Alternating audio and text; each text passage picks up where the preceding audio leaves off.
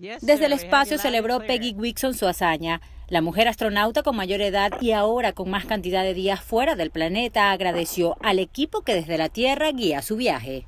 Es un gran honor romper este récord, pero básicamente es un honor para mí representar a todos mis compañeros de la NASA que hacen posible esa misión espacial y que lograron que romper este récord fuera posible.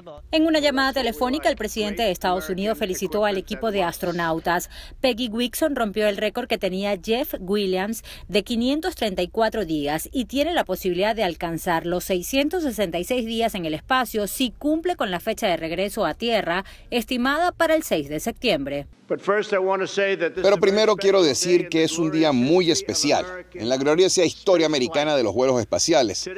Hoy, comandante Winston, usted ha roto el récord de mayor tiempo en una estación espacial para un astronauta americano. Wixon es conocida como la mujer de los números, ya que fue la primera astronauta con mayor edad en viajar al espacio, la primera fémina en comandar la Estación Espacial Internacional, quien tiene el mayor número de caminatas espaciales con ocho y la posibilidad de ser la séptima astronauta del mundo con más tiempo en el espacio. Doricer Alvarado, TV Venezuela.